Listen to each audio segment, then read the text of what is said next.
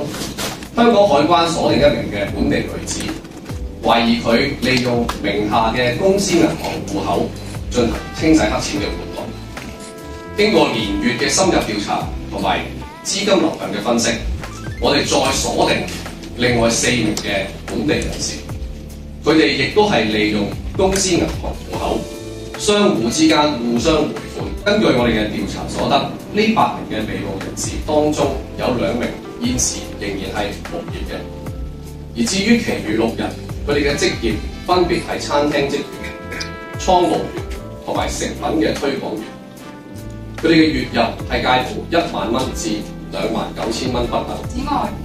財富調查亦都發現有三分之一，即係十三億港元，係由虛擬貨幣公司存入其中被告人嘅公司銀行户口，資金喺短時間之內轉走。懷疑洗黑錢集團係利用虛擬貨幣公司嘅去隱藏可疑資金嘅來源。我哋懷疑案中嘅虛擬貨幣公司利用虛擬貨幣嘅高隱蔽性，用迂迴嘅手法將可疑嘅資金流入銀行嘅體系，企圖逃避執法人員嘅調查。喺度，我想提醒市民唔好隨便將自己個人戶口借俾其他人或者係公司。另外，亦都要小心保管自己嘅個人資料，包括你嘅個人身份證明文件、銀行戶口嘅資料、